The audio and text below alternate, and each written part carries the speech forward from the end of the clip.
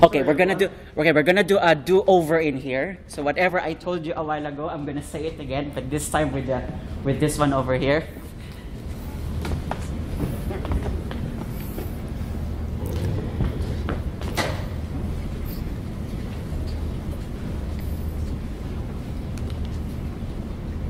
So that's my Twitter account over here. I'm really looking forward to the conversation that we're gonna have.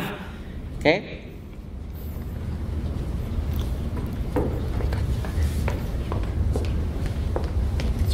So we're ready? Yeah. All right, perfect. Okay, let's do take two here. Hi, everybody. Hi. How's everybody doing so far? Good, good. It's been a long day, but I hope that uh, our conversation for today will really be, you know, um, instructive to you and to your projects. My name is Jem Rosario. I am a user experience specialist here in Toronto, and as you've heard in my uh, mini spiel a while ago, Today we're going to be talking about design discovery, which is really that first mile in the design process. And we have already gone through some really great sessions on how to operationalize um, uh, design discovery and user research. And today I'm just going to be showing you that framework, that founding framework, that hopefully will help you um, get really acting upon, uh, discovering the project context, the problem to solve, and most importantly, aligning it to what, what you, to what your users and your business needs with respect to the project that you're building. Sounds good? All right. So you've heard this already, but I'm going to say it again because you know I'm too much of a creature of habit.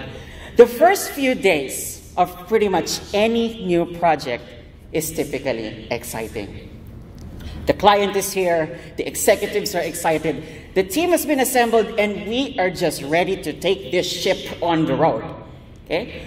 But then somehow, somewhere, a UX designer pipes up, probably at the back of the room, and says, We should do UX research. We really need to discover the right problem to solve so that we can build the best digital product or service for our client and their users.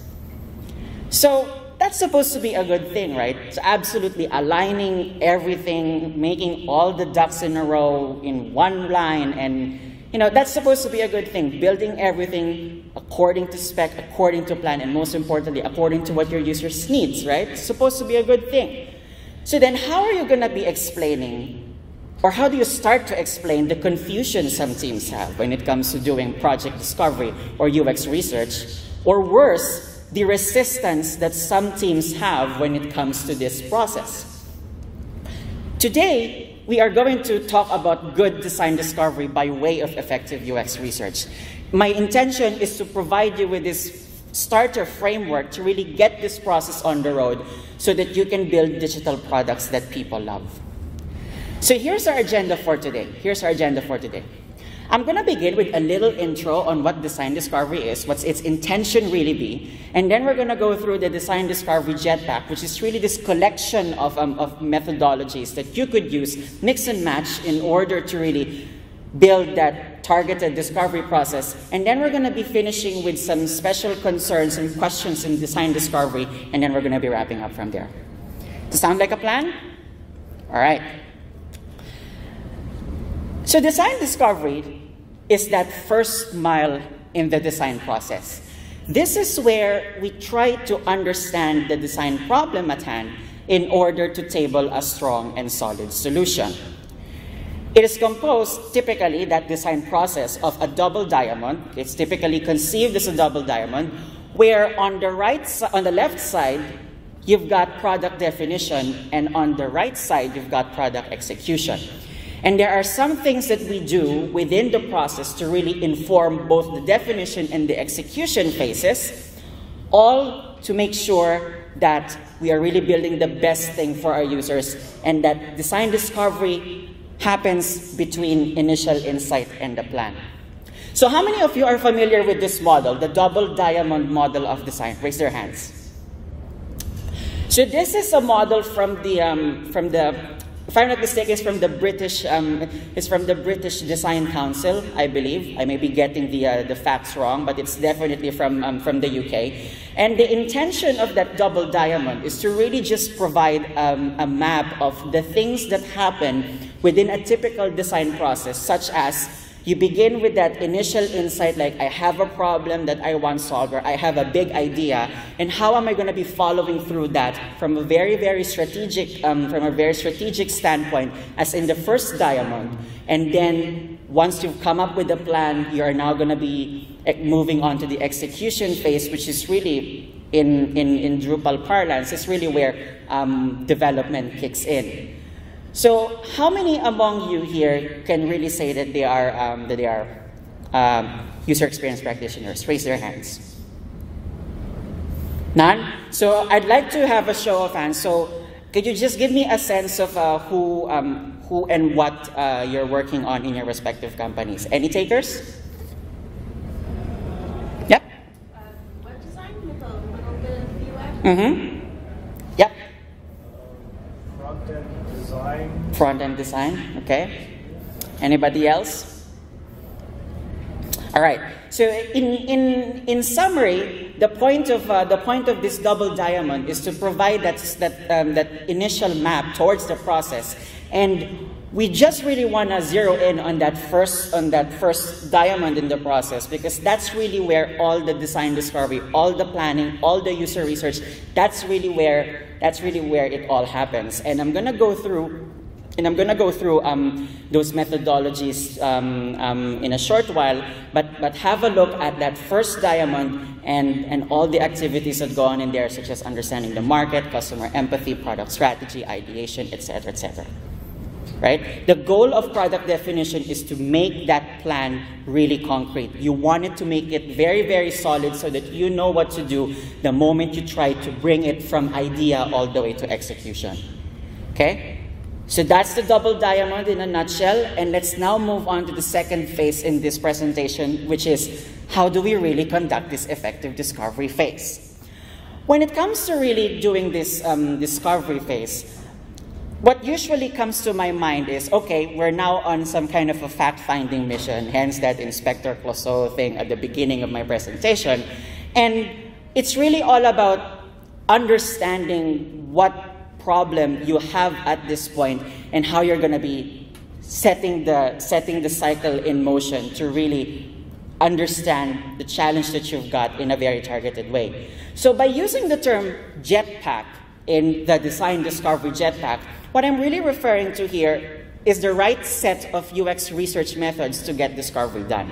And when I say the right set, I'm, I'm not just simply referring to the appropriate um, methodologies, but also the right scale of, um, of methods. Because one of the biggest temptations for some teams at least, is that you're stockpiling way too much on, um, on, on, on, UX research methods such that it starts becoming a little bit too bulky, there's too much to process, there's too much data that has to be, uh, it has to be dealt with. But at least when you're trying to be a little bit more lean, trying to be a little bit more actionable, um, there's probably something to be said about keeping it lean in the beginning, and then when you find that you really want to scale up the, uh, the, the understanding of the problem at hand, like for example, if you discover something surprising about your customers or your business, um, halfway, halfway down the road, he would be able to course correct and actually follow through on those surprise, surprising insights. So, the most important thing when it comes to really understanding any kind of uh, any kind of process that you will be reading, whether it is through someone like Don Norman or Jared Spool or or uh, or some guy or girl on Medium.com, is that the process that they tend to advocate worked for them, and the same disclaimer is also applying here, such that the process that you're going to see worked for me in the sense that this is really a reflection of the patterns, the methodological patterns that I have uh, had throughout my time as a UX practitioner. But in order for you to really get the biggest bang for your design buck, for your strategy buck, you want to make sure that the methods that you see in here, you're thinking about them and you're trying to tailor fit them according to your process. That's the best way to make sure that you're ensuring the long term success of the product or service that you're building. And that's exactly what we're going to be doing within the next few slides. So far, so good? Are we going on a pretty good pace? Not too fast, not too slow, just right? All right, amazing. So, usually, I find that there are three big ticket stages when it comes to doing uh, when it comes to doing project discovery. There's client side research where you try to understand everything there is to know about your business, about your client, and then you move on to user research, which is really now all about okay, um, we now know what the business needs. We now know what they really wanted to achieve with this new website project that they're trying to do. Well, who are they really designing for? So this is where um, this is where user research is really going to be of biggest help. This is where we quote unquote get out of the building to really understand who is it that we're designing for. And then once we've done all those um, all those processes, the first step and the second step, we are now going to be taking everything that we know and start presenting it to our clients and stakeholders and say, this is what we've learned. This is now we can. This is how we can start solving the problem through um, through synthesis, synthesis, whether it is internal synthesis or collaborative synthesis with your team. So that's the 20,000 feet point of view of doing design discovery. And I'm now going to begin with that first big ticket phase called client side research. Client side research as we've already uh, hinted a while ago, is really all about understanding what your clients or your business really absolutely needs. We do it because we want to probe your project's business context so we know what to optimize for, for example, or design with this new product or service offering. And usually I find that with websites, especially websites for e-commerce or something, the typical, the typical objective is, okay, well, we want to be able to increase sales, to optimize conversion, etc., etc. Those kinds of business goals are what we try to get a good handle on as early as possible during this client-side research thing. And there are some activities that we do in order to really get that thing, uh, get thing done. So, before I continue, is everybody familiar with the list of activities that I have over here? Are, are you more or less um, uh, familiar with these methodologies? Is there anything that you want me to elaborate a little bit more in detail? It's more about me being mindful of time, that's why. Or should I, or should I talk through everything? Who has a preference? Talk through everything, raise your hand. Selective, raise their hands. Okay. Um, okay, let's go. Let's, let's try to uh, let's try to go for both. How many of you wa- How many of you want to know about stakeholder interviews? All right, let's, let's just go through everything. Stakeholder interviews. This is really now. This is really about. Okay, this is the first meeting with your client. This is the first interaction that you've got with them, and therefore, okay, what do they really stand for? What is their brand all about? What is their business? What do they really want to achieve as a result of um, engaging with you as a vendor or as a service provider. And then, as soon as you have that good first um, first interaction with them, you build some more relationships with them and try to understand what their business is all about. To which then you move into competitive analysis, which is now about understanding. Okay, so this is this business over here. There's probably some other related businesses that um, that they are uh, that they are competing with, that they're also in the in the ecosystem with. So, for example, um, so for example, in the case of uh, in the case of Google, there's got to be another there's got to be another company that produces uh, produces browsers. So, Google, Farf- uh, Mozilla, okay, and the rest, you can definitely name them. And by doing competitive analysis, you're really essentially trying to find the good, the bad, the ugly, the, the, and, and many other and many other stuff that would help really inform what are the things that really work for them, what are the things that cannot work, what are the things that we can take away from, etc., etc. So that's competitive analysis. And then heuristic evaluation is really now this more structured process in which there are, there are some usual usability standards that we want to take, take into consideration is the product that we have really up to par, at least during that initial, uh, initial scan in the usability standards? And then you also do primary and secondary research, which is trying to understand um, uh, the people within the company and also are there any kinds of uh, uh literature available? What was the press that this company has had before? And then you also dig in through analytics just to really get a good feel of um, what their website traffic is, especially in the case of websites. Content audits, which is really that list of all the of all the content pieces that the company has, and then finally metrics. which will come organically through um, the conversations that you will have with your clients because they will tell you, okay, we're going through this, um, this project because we want to optimize for X, we want to increase Y, etc., etc. So far, so good? Secondly, as soon as you've done all that business side research, you now go on through user research, which is now really about the people that you are designing for. And the selection of activities that you're seeing over here, this is really just a subsection of a very, very, very um, rich field uh, called user research. And I'm just really going to show you over here the, um, the big ticket items that tend to happen, in my practice at least, when I, uh, when I help clients um, build websites. So for example, you've got personas, okay, personas, which is really that, um, that uh, composite um, picture of your users. And I've put a very important qualifier there, which is scenario-driven personas, because at least in my, in my view, the big problem with some personas is that they tend to be just a laundry list of demographics and, and, um, and bullet points.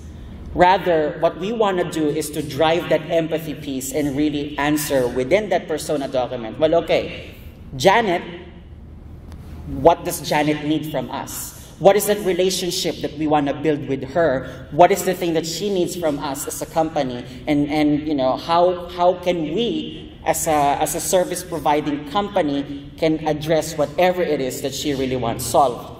So it is that situationing, uh, is that situational look at the people that you're designing for that really unlocks the potential of personas beyond just simply descriptors of this is Janet, she is 43 years old, she lives in Richmond Hill or, or something. Because you don't really get anything beyond that kind of thing, especially if you're trying to understand what is going on with her life that would want her to switch to our product or service, etc.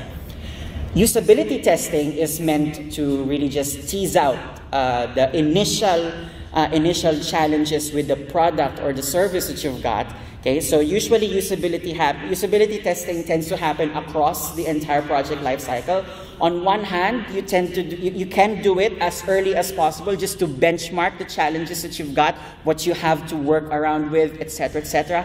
And also, you try to do usability testing throughout the development process just to really level set and benchmark um, okay, um, the issues that we have set before, we have identified before, okay, they're starting to get solved right now. We're not. We're now. We're now getting really good clarity and good um, good stuff in here. So usability testing is meant to really just benchmark the thing and also assess how it's uh, how it's working through and through. And then card sorting and tree testing, those are information architecture techniques that you use to really understand, for example, well, what will that navigation structure really be? And usually, we're pretty much happy campers when we say home, about, this cool service offering, blog, contact us. That's a pretty simple um, IA structure. But as you and I know, especially if we're, if we're working with um, really big ticket clients, we know that it's definitely go beyond five major categories. So what will that categorization scheme really look like? And that's exactly the job of card sorting entry testing. Job Stories is from Clayton Christensen, where it's really all about what is the job that your uh, users are trying to get done. And we want to pay attention to that so that we can really design the product or the service according to that um, unique pain point that they want solved. And many other uh, research methodologies is needed. And finally, once you've gotten all those information, all those details, both from your users and from your business, you now want to start presenting what you know and get the process of solving the design problem really started. So in my world, it typically happens like we now say to my clients, okay, here's what we've learned about you a business our the, the client.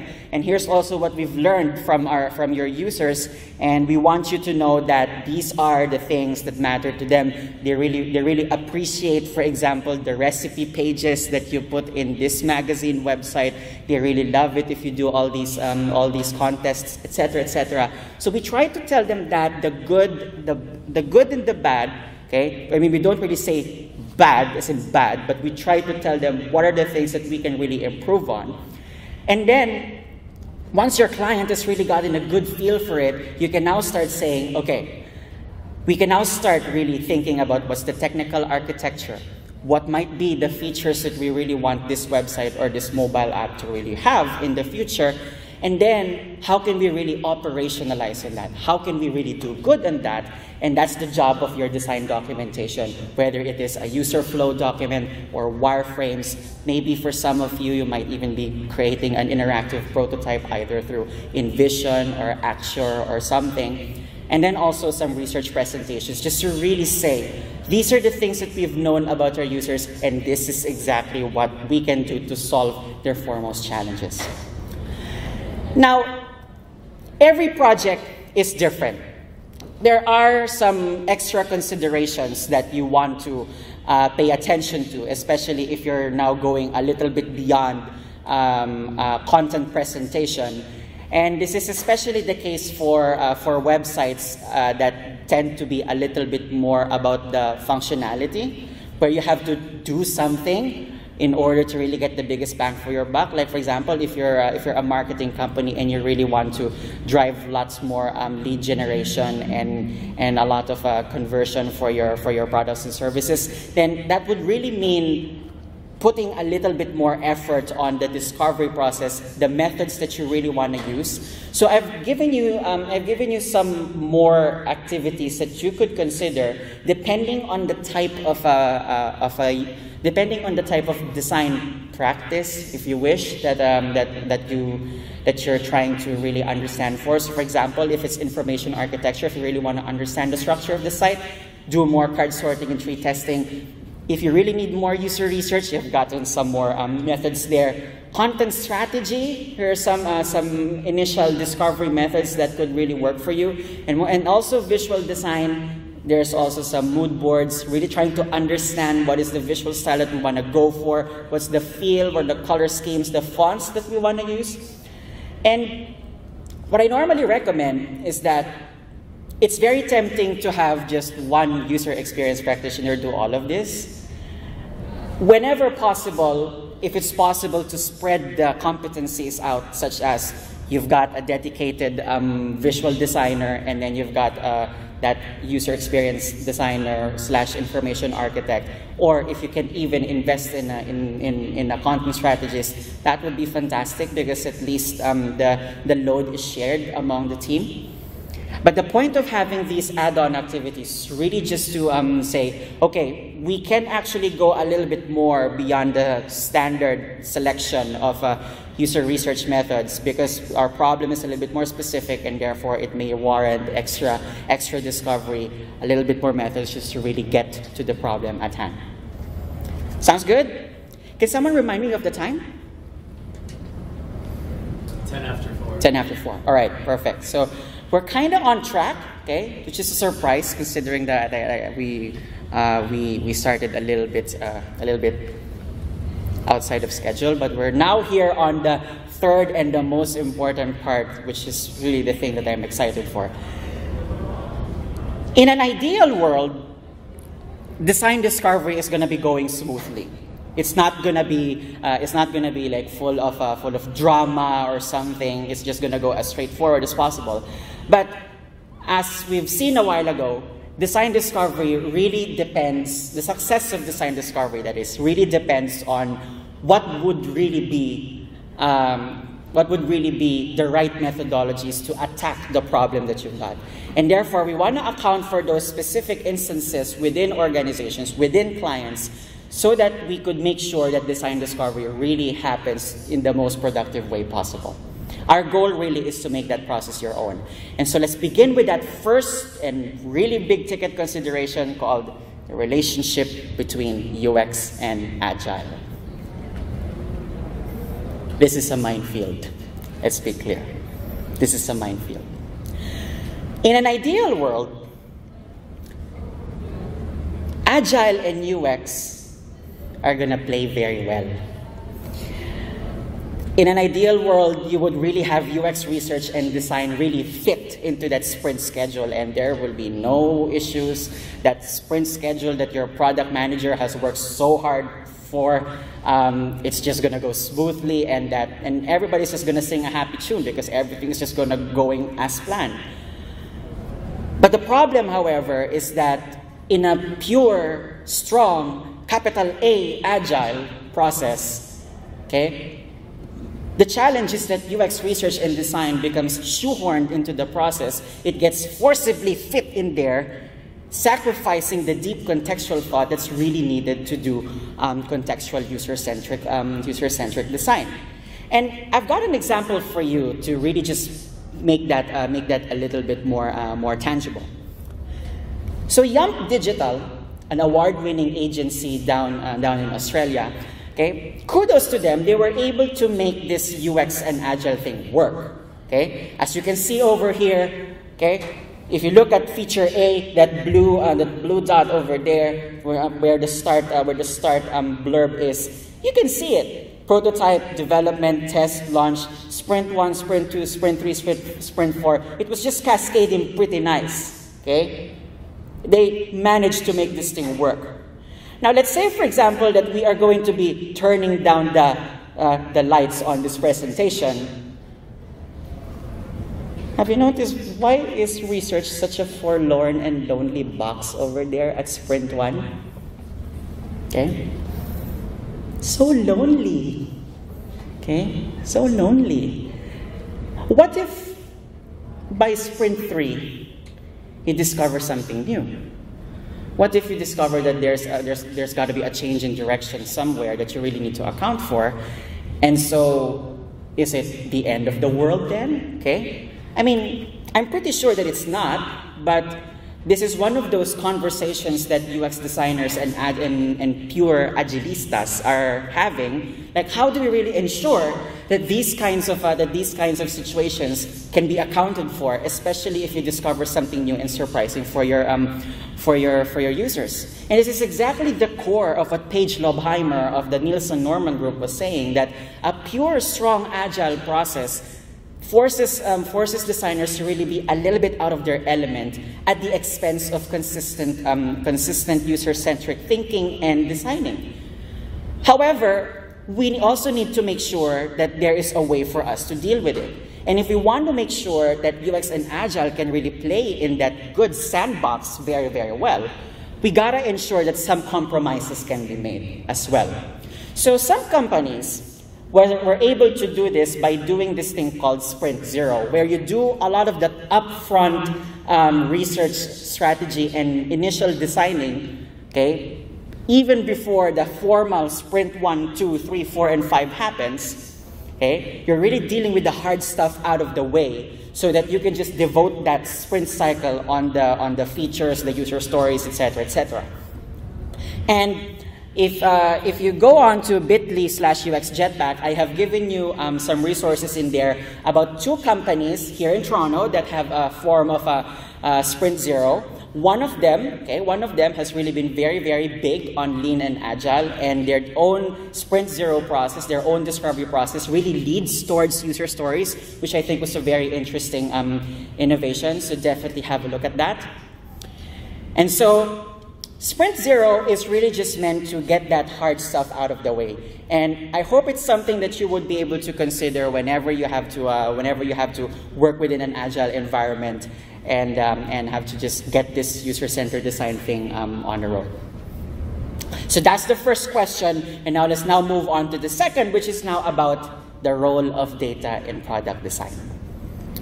So just a little gut check. Are we going too fast, too slow, just right, or anything? Pretty good?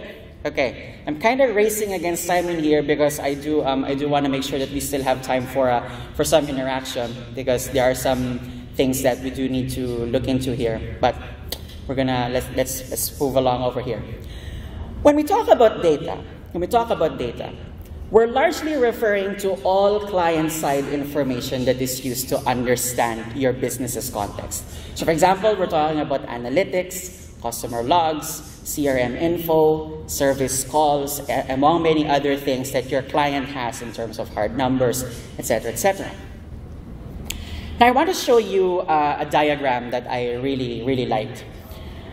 These are uh, some data sources and UX research methods at Canada Post. Okay, full disclosure, I don't work there.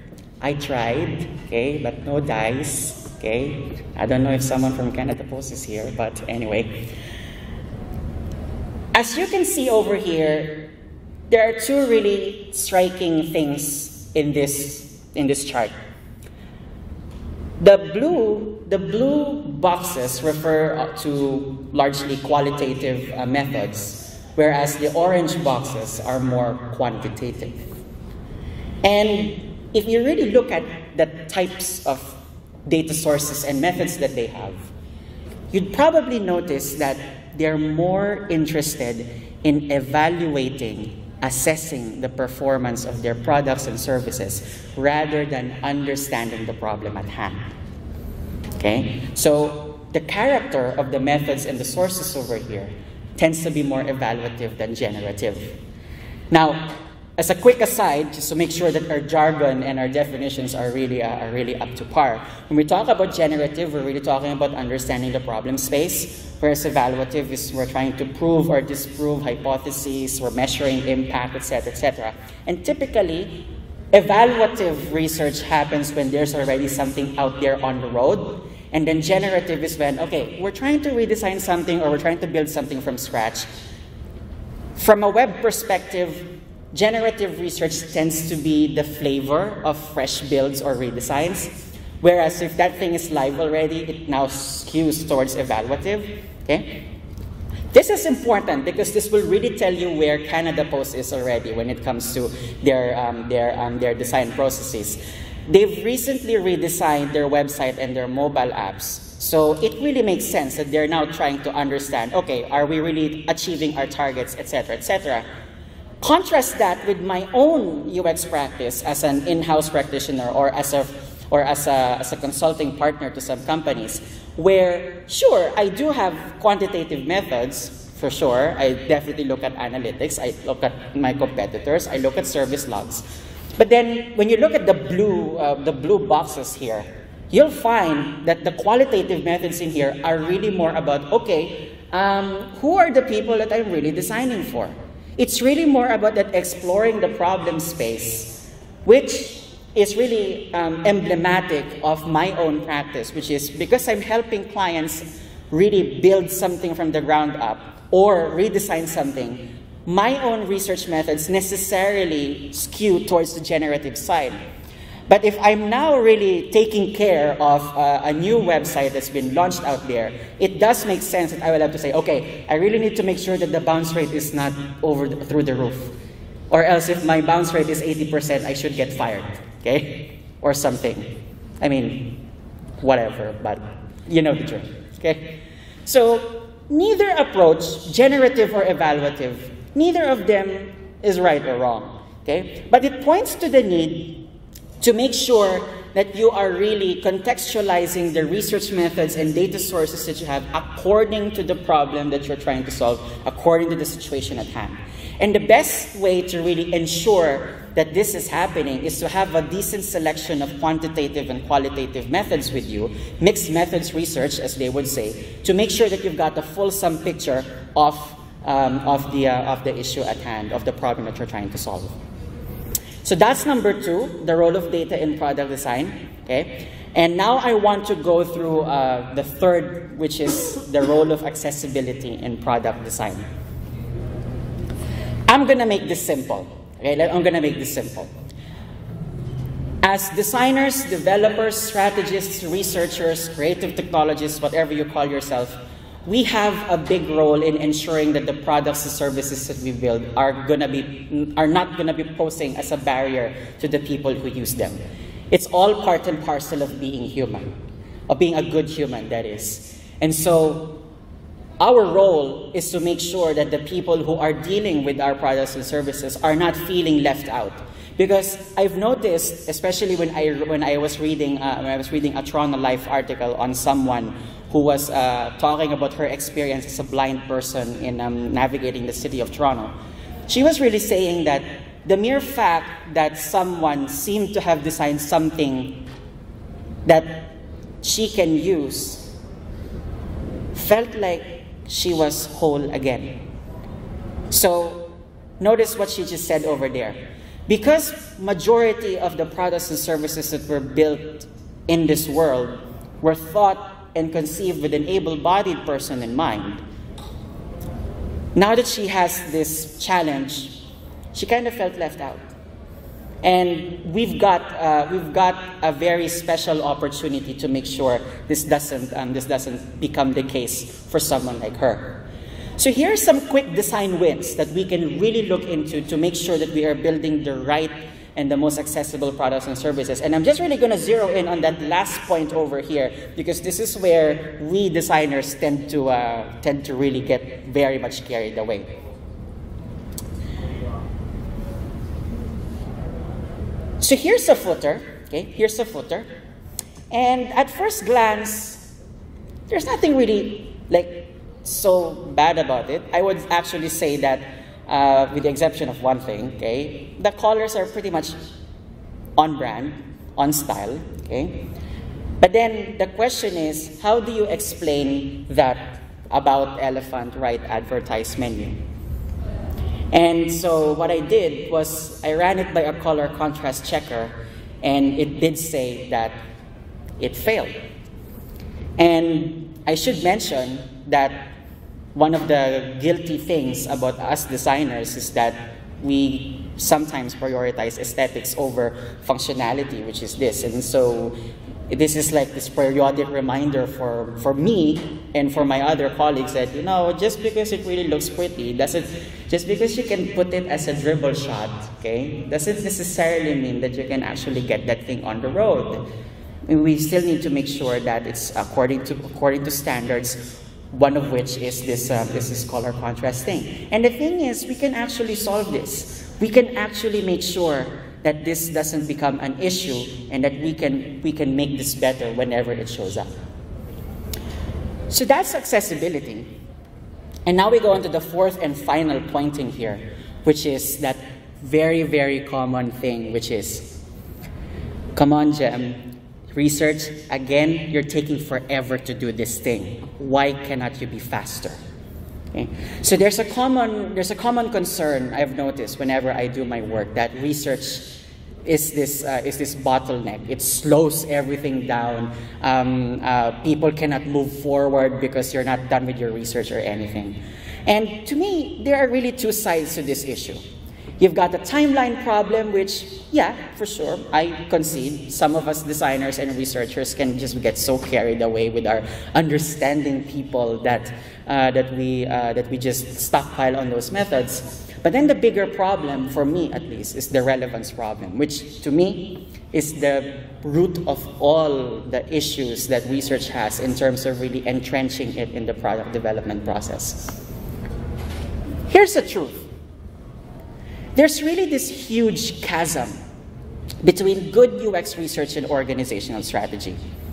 And I was really reminded of this the other week when I was talking to a, I was talking to a director of uh, service design, and she was really, really hammering on the uh, on, on the research methods that that she had in her company. And sure, she was still able to talk about how this is relevant to her um, to, to her to her to her to her boss. But I also thought about how my other colleagues approach UX research, and they just seem to say, oh, we did contextual inquiry, and then we did ethnography, then we did more user interviews and stuff. So it suddenly becomes this laundry list of all um, research methods and discovery techniques. But then the question then that we should be asking, or, or like I should be asking myself is, well, what's in it for the company? So what if your personas were really the most Dribbble-worthy thing ever? What if it was really the most well-designed thing? What, if, what, what good is your statistically significant A-B test if, um, if um, we cannot really demonstrate that hard line, that connection between the insights that we've generated and how it's going to benefit the company? And so one way that I've tried to mitigate that challenge is to make sure that I always generate the oh moment when I share my UX research findings.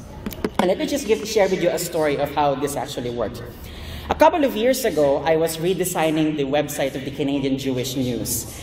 And, um, and at that time, I was still in the throes of the so-called persona placemat format, okay? which is really just that laundry list of uh, demographics and characteristics. But the moment my team started talking about UX research in terms of, well, you know, Janet really appreciates the recipes that you've got, and they look to the CJN to be this particular um, this particular thing. The moment we try to talk about our personas in terms of their relationship with the company, in terms of their emotional connection, and how important the CJN is to them, the moment we were able to establish that relationship, the more our client was saying, "Oh, tell me more about it. I really want to know." That is how we want our editorial strategy to be really going moving forward. We want to ensure that whatever we write is actually something that would be resonating with the people that we are writing for. So, that kind of constant connection is what we really want to drive when it comes to doing effective UX research. Because really, Erika Hall, in a very recent but very, very um, well argued article called Thinking in Triplicate, said in a very, very explicit way Design is only as human-centered as the business model allows. What this means is, what this means is, everything that we do as designers and developers really happens within the purview of a business infrastructure. We wouldn't be able to do this job if, for example, you know, we wouldn't be able to do this job without that client, uh, you know, paying us. I mean, it's funny. I do know of a UX researcher that says that uh, all my behavioral inquiries are being bankrolled by us by a big company that she works for. I mean, bankroll may sound like a very facetious term, but the truth of the matter is that only confirms the relationship that we have as workers, service workers, digital workers with the companies that we are working for. So the challenge then is not just to become user defenders alone, Okay? We definitely need to make sure that we are representing the interests of our users. But we also need to make sure that in the process, we are not neglecting what our clients absolutely need. So it's that move from human centered design to value centered design, as Erika Hall says, that the biggest bang for design and research's buck can really be generated. And that, I think, is a very, very worthwhile thing to work for. So far, so good? So, to cap this conversation, we've talked about design discovery, a very, very quick um, overview of it. And it is really this first mile in the UX slash product design process where we try to understand the customer and the business needs in order to build the right thing. And consistent with the term jetpack, we are not trying to stockpile way too much and make that you know, that set of techniques too heavy and too bulky for us. But we want to make sure that we start with something that we can work with and then scale it up according to what our project needs.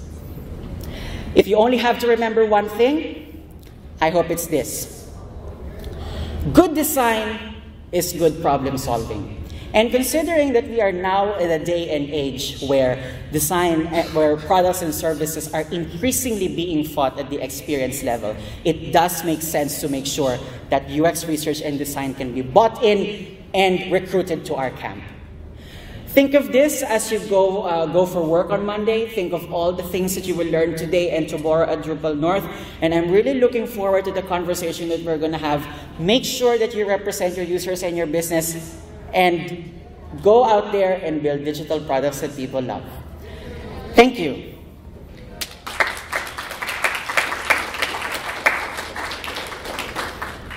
It's 4:30, so I don't know if I have time for questions. Um, uh, but uh, but let's uh, let's let's take a couple. Let's let's take a couple. Okay, if uh, uh, any any any any questions for any questions for me.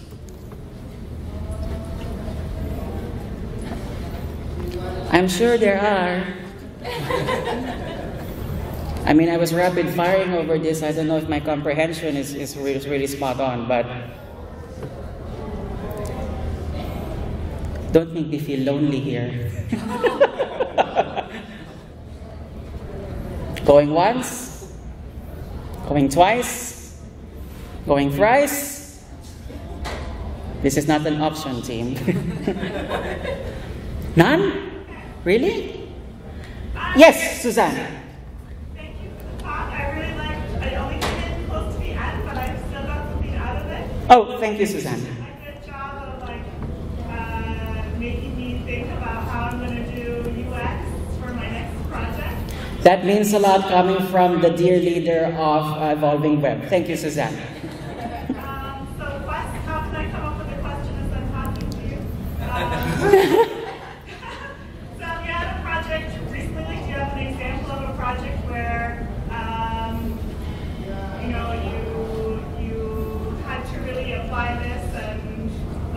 one example that like stands out to you where you had to come up with like a value Yeah. proposition for the client? Um, a couple of a couple of years ago, I was the user experience team of one, the sole UX practitioner at a not-for-profit organization. They were redesigning their website. It was a move from Drupal 6 to Drupal 7. So um, they were looking to me at that time to really just okay, Jem, we really need to make sure that this information architecture for this particular um, uh, toolkit that we have can be a little bit leaner. So what I did there was to really do a lot of uh, heuristic evaluation and a lot of user testing. And what's actually funny in here was that I was still a, a very new practitioner at that day, at that time, and I was saying, ah, I. I am the UX person in here. I have all the knowledge in the world, okay? Of course, younger, hubristic, and everything, okay? I said, I said, I initially said, oh, we should do a, we should do advanced search in here. We should do advanced search. I was really coming up with all these impor- uh, these these great um, mock-ups about how advanced search can be deployed. But then when I started doing user testing, when I started really understanding what are what the users of that particular um, that particular not-for-profit service is, that's when we started. That's when I started discovering, yeah, it's advanced search is not going to work. It's all about making sure that the labels are clear, that, um, that there is a much leaner information structure to use, and that, um, and that, um, and that it's not onerous to use, it can scale across devices. So that kind of shift from I am the genius designer all the way to, okay, I actually have to respond to what, what, my, what my user tests has been showing that is one example of how discovery processes can really um, can really help you um, redirect uh, redirect um, uh, your project direction and also your design decisions. And I'm very happy to tell you that we were able to launch that. I mean, they've already redesigned their website yet again, but that following through on on user insights and being able to respond to them and be able to tell my clients this is what your client what your what your customers need and for them to really trust me with those recommendations I think that's a really good thing, and it speaks to what really could happen if you have that close collaboration between yourself as a designer, as a developer, as a researcher, and the client that you're serving. Cool? All right. Thank you so much.